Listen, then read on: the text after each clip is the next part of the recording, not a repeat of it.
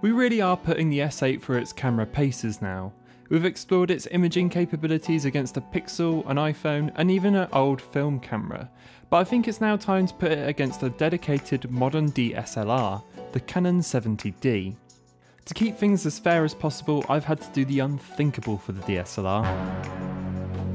Auto mode it is, I'm afraid, and the same goes for the S8 too. Now, before you blow up and tell me that isn't how a DSLR is fully utilised, I know. I'm well aware you wouldn't pick up this sort of expensive camera to simply turn it to auto mode. But for this experiment and comparison and keeping fairness in mind as best I can, that's what we're doing. I'm using a Sigma 18-35 on the Canon and keeping it stuck at 18mm. That's the closest focal length I have access to that matches the S8.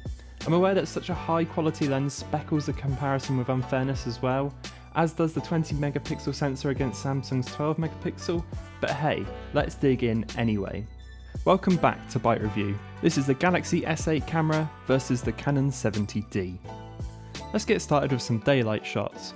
Not an overly interesting image to begin with, but the Canon has done a good job at exposing the scene well and keeping the colours nice and accurate. The S8 has produced a much brighter image but is almost pushing the boat on the bottom left into overexposure. Putting them against each other, you can see the white buoy in the boat on the S8 has no detail at all thanks to that slight overexposure, whereas the Canon has managed to retain some. I can't help but feel this photo could have been a little brighter from the Canon here. I can definitely imagine dialing up if I was to share it. I find the S8's photo a lot more pleasing to the eye with the auto HDR on its side. The brighter exposure makes the photo pop a little better and it hasn't gone overboard on those blues like the Samsung normally does. Zooming right in, both have done a good job of keeping the details on the sign. The S8's still pushing that sharpness a lot, but overall I think I do prefer the image from the S8 here. There's a nice overall balance from the Canon in this shot, with the shadow cast from the flower making the image pop just that little bit more. Switching to the S8, the picture feels a bit flatter in general thanks to that lack of depth. The reds have been pushed up quite a lot too. Next to each other you can see this quite a lot more, and I prefer the exposure and the colour reproduction from the Canon for sure, as the S8 has pushed those reds a little too far for my taste. This is a good example of the 70D giving us a good sense of depth in the image of the darker parts of the photo. The flowers feel like they're emerging as opposed to all being on the same level. The colours are on point in terms of accuracy too. The S8 has pumped up the greens quite a lot in this image and has a much higher exposure overall. We can see the pinks and blues really popping as well. Zooming right in you can see the sharpening on the Samsung is super obvious. The lines in the photos like the edges of the leaves appear much harsher than the Canon's. The yellow in this photo is a good example of the differences in colour reproduction between these two cameras.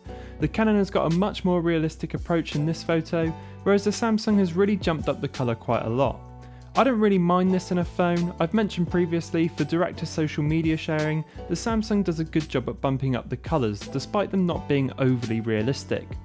Zooming in super far, there is an obvious difference in detail too, with the S8 starting to mush up a little while the Canon keeps things looking a lot more smooth and detailed, thanks to that 20 megapixel sensor.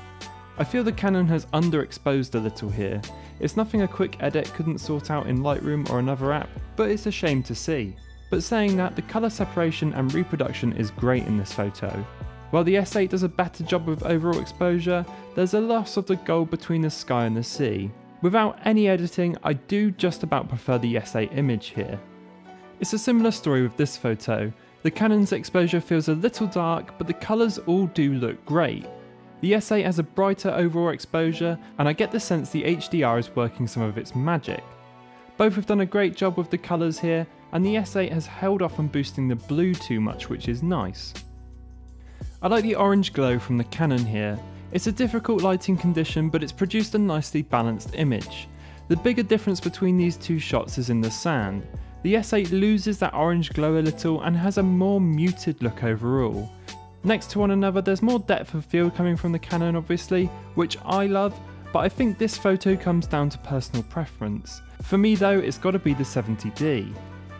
I love the almost silhouette from the Canon here. The glow coming from the cloud looks great too, and it's actually done such a good job here, I'd be pretty light with any edits I would make.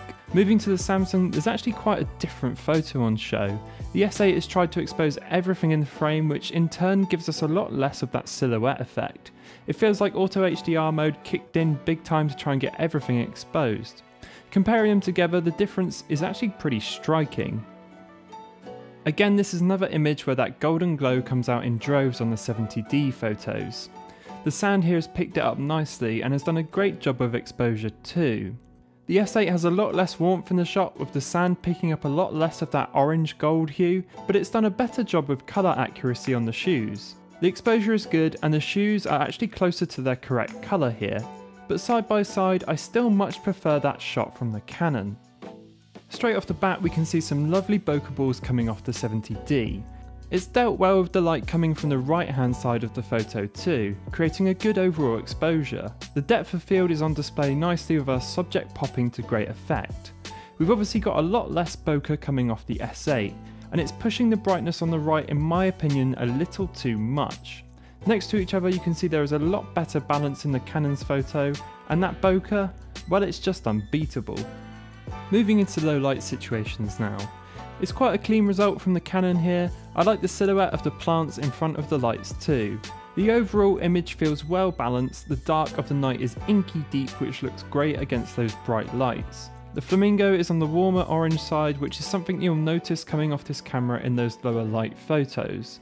Switching to the S8 the first thing you'll notice is the difference in colour on the flamingo, which has a much lighter pink hue. Interestingly, the actual colour isn't really close to what either of these cameras produced, its original colour lying somewhere between the two. Overall, I prefer the Canon's photo here for that inky black surroundings, as the S8 feels a little grey in comparison. This photo is a better example of the Canon really bringing out that orange hue in the lower light photos. Everything around the jar of light has a really obvious orange tinge to it that I'm not a huge fan of. Throw that against the S8 which has produced a much more natural photo here, with next to no orange, keeping things feeling a lot more realistic in general. I prefer the S8's exposure on the lights here too. That's not to say the S8 is always better with exposure in these situations of course. We've got a nicely controlled image here from the Canon, the sky is inky deep again and the colour of the hedge on the right is super accurate.